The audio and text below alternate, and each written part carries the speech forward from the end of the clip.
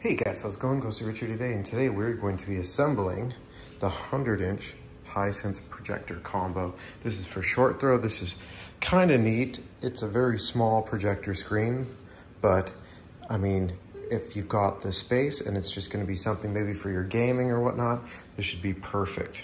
Anyways, let's go ahead by showing you how some of this stuff installs. First and foremost, this one right here. You'll notice that on these, unlike most projectors, if you install projector screens, that this one has ball bearings, so you have to kind of press them in to get them in. Let's see if I can get this in with one hand. I might have to put my foot right here. Let's see, just like that. And then you'll go to the far side and you can pop that one in over there. So you'd come over here. Again, leg on here. It's kind of cool that they did that, that they've got these ball bearings that actually lock into here. I haven't seen that before with most projector screens. And then what we'll actually do, switch things up, because this is another way you can do it. Come over here, slide that in there. Slide this one in here. Perfect. Now for these center ones. First thing you want to do, again, this one, there's only one slot. Right here it'll slide. And slide it till it clicks right there. Grab these little silver guys. These ones do not have the click I'm getting. Oh, they actually do have a click. See, it's very neat that they did that. It's a different, I haven't seen that before. Kind of locks them in. I'll give them kudos for it. They deserve it. Over here, again, ball bearing up and locks in. And these ones ball bearings to the sides, which I don't think you can do it any other way. Perfect. And that's locked in. Now, these little guys, again, ball bearings, just like that. Whoop, popping things out. Gotta put my foot back on it. And I'm pretty sure you get the drift now. Just make sure the ball bearings are set upward.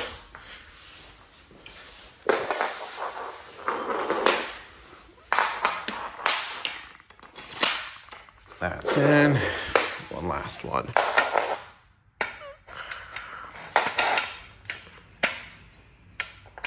Perfect. Now that those are all in, let's slide these pieces into each other first. Pretty easy. Just so line it up right here. And just slide that in so the ball bearing clicks into here. These tinier screws put off to the side. These are gonna be for when we put the covers on. You can tell because these ones have just a little bit bigger screw thread on them. And again, just go ahead. You don't even have to put all the screws in right now. Just put one screw in on here. Don't really have to tighten that up. Just, and then put one more in down here so it ties into here. So again, as we can see, this needs to, there. Put the ball bearing back in place. Put one of the screws in down here. Tie this one a little tighter because that one's on a slide rail. From there, you should be able to hop up, slide it in. Now that we can see all four ball bearings, I would go ahead and put all your screws in. So put the four in right here. We should already have one in here, so put in the other three. Do the same up here. One, two, three, or whatever. This side, you don't even have to tie the screws in first. Just slide it into place, make sure your ball bearings all line up, which they do. Come over here, do the exact same thing, and just be careful. The last thing you wanna do is cut yourself with this metal. There we go, that one's in. All four ball bearings. Right there. Sorry, I just noticed I panned the camera away. Go ahead, slide the other side in and put in all these screws just like you did with the middle ones. To keep a tight fit, squeeze this as you tighten those screws up and it'll keep these so there is no gap in between because as close as this can get is best.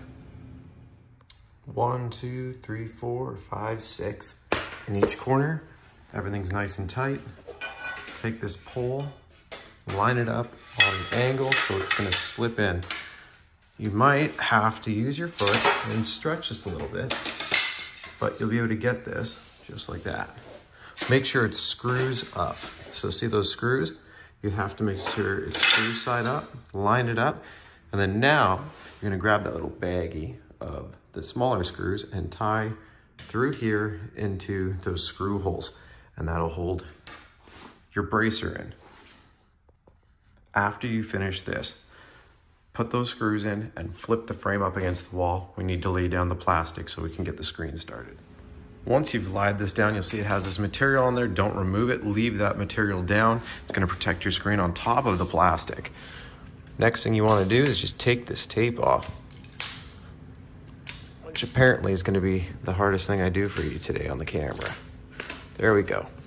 Now that you've done that, and you've gotta do this side,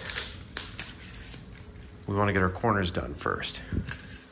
Bring this over use this hook tool right here. And you're gonna stretch. I'm gonna show you how to use this first. Pretty easy with these ones. Stretch it like that. And then hook this corner and then hook this corner. We wanna try and keep this as center as possible on the hook. And you're gonna go to each corner and do exactly that. Hook these on. So another one here and again, make sure you get it on the metal rivet and it's going right through the metal rivet. You don't want to accidentally hook the plastic. Another trick, when you're lying this frame down, always make sure the corners, if you're lying it down over here, the corners are not on this material. If you were over here and you, put too much pressure on this corner, it could go through the screen, just a heads up.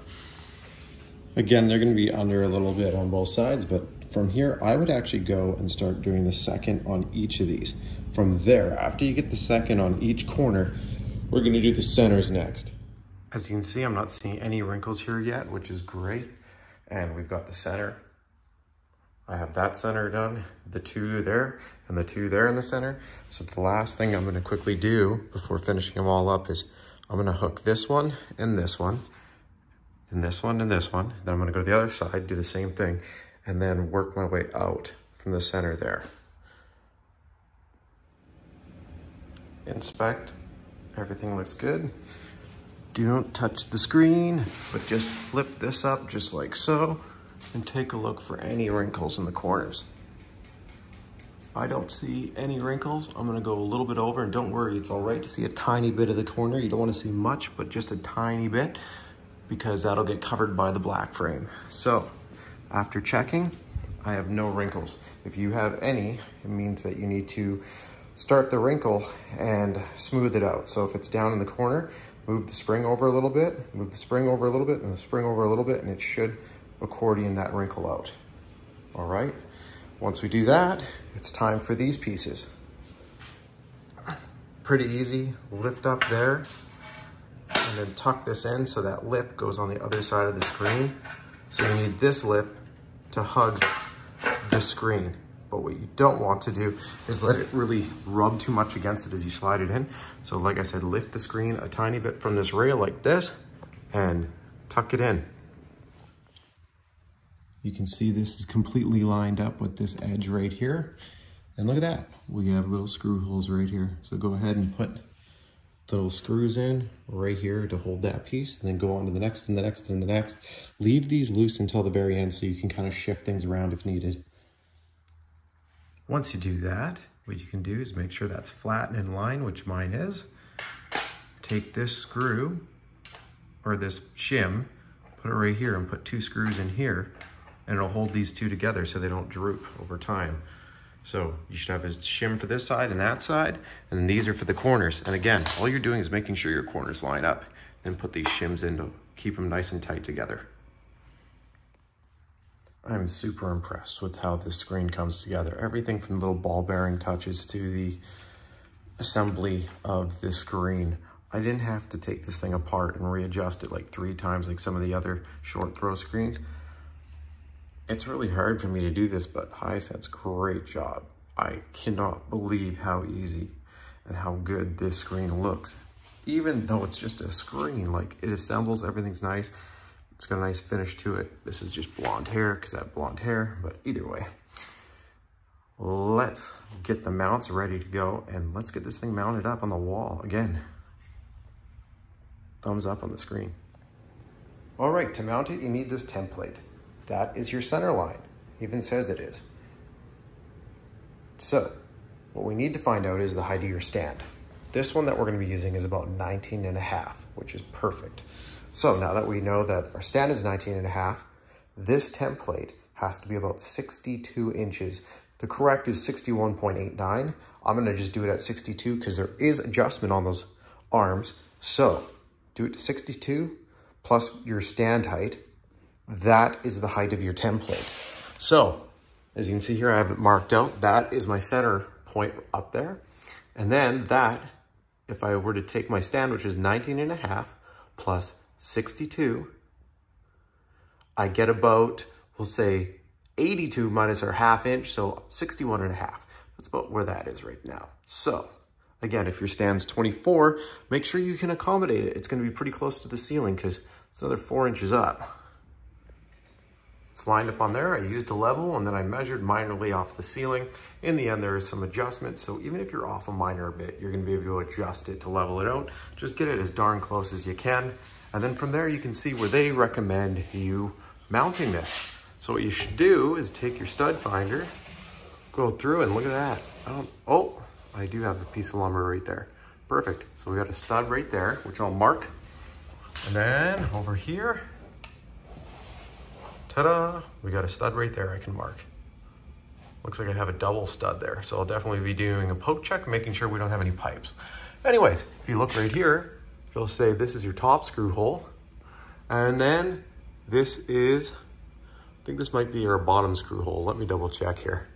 Yeah, as you can see, this is our bottom screw hole. So top screw hole, bottom screw hole. So once you have this marked out, which line is your stud, you would go up here, poke this with a screwdriver, then poke up here with a screwdriver, and then do the same again. Once you find that stud, right above your stud finder, poke on the black line, poke on the black line, and just make sure you're going straight into the middle of the stud. Here's a tip for you. I go through these screwdrivers quite a bit, but you bang on it like this until it goes in. And then what you do is you wiggle it, and if you give it a good whack with your palm, you should have some resistance when you pull it out, and that tells you that it got stuck in a piece of wood. Now, if it starts tinging, you're hitting metal, and if it feels squishy or moves, it could be a pipe that's loosely in there. So again, proceed with caution. You should literally hit the stud right as you go in. If you actually go into the wall and then hit something solid, it means that there's something on the other side of that wall.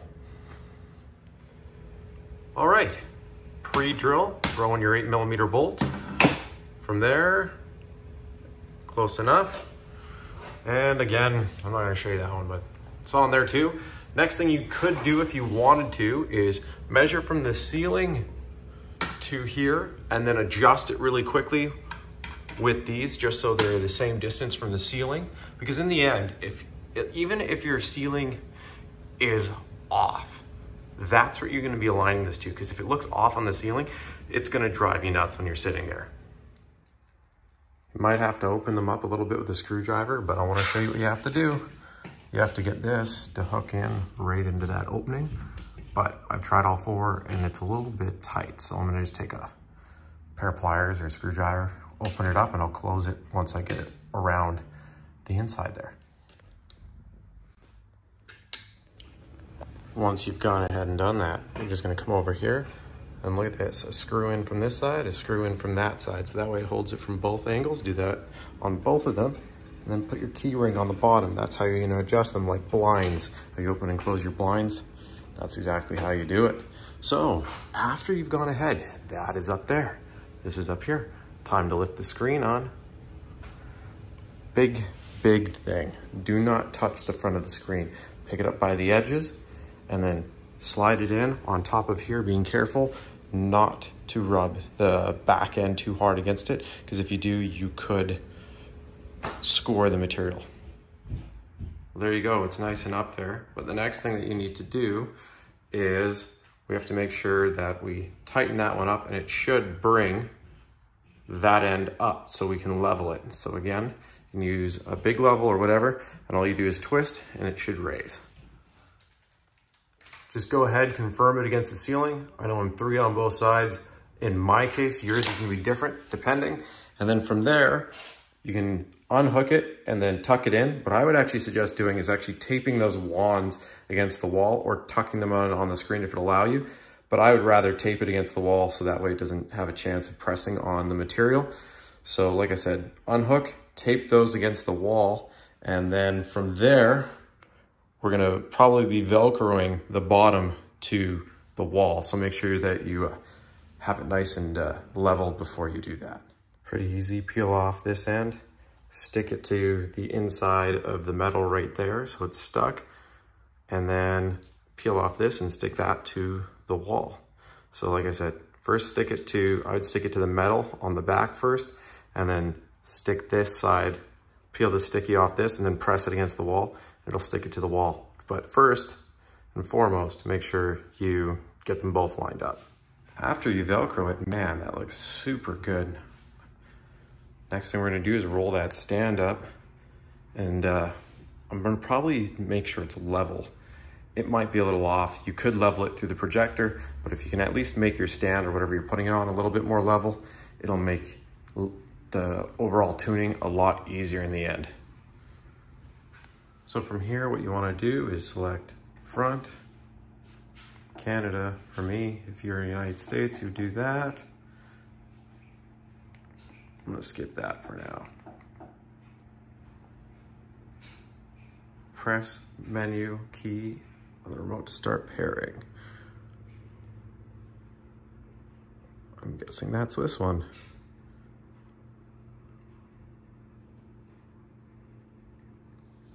Bluetooth remote connected, pairing successful. So again, your pairing key is this one. Continue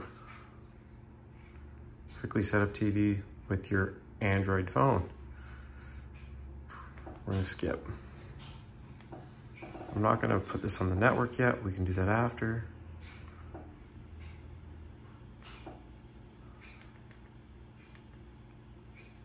Perfect. Here we go. So next thing we need to do is start moving the projector back and forward until those lines line up there. So what you're gonna have to do from this point is, as you can see, I'm pretty darn close. I've got the border on there. So I can't do any more with the projector itself. So what I might actually end up doing is just raising the screen a tiny bit there and a tiny bit on this. By doing that, it'll bring it in here and bring it in here. And like I said, I'll just re-level it afterwards. But from there, I'm actually gonna just press next for right now and then continue with the process and see how it looks after you've corrected and you have the light brought up to the right point there, everything's lined up here, next thing we're gonna end up doing is, I'm gonna go up to settings. Now, I like to do everything manual. If you want to, you can do the auto with your phone. If you do this, take a look at that. So, if yours is off, which it probably will be, you don't wanna see any of the white with light. See how there's some light in the corner? Check this out. So, if I press down, and then over a little bit. We've got some more light there. Now we have to just even it out. See how that side, how it's on a slant now? You wanna go to the far corner and we'll press back and then bring it over there and bring that corner in. So back, down so we can level it. And then, yep, and that looks square. Again, no light along the bottom, no light along the sides. We have a little bit in the corners. Again, you can adjust for that if you'd like, but what you wanna do is keep as much light as you can out of the corners and keep it all on the screen. So play with it a little bit and then press back so it saves. There you go. As you can see, it's all lined up now after doing the manual. And again, you just have to play with it by pressing back and doing all that other fun stuff. So now that we've got that set up, you can go ahead start watching and see how it looks. There is a couple of these feet keepers right here. So if you have a solid stand, what you can do is go to your front feet on your projector and stick these on your stand so that way the projector cannot get bonked. Because if this thing gets bonked, then you get to recalibrate it.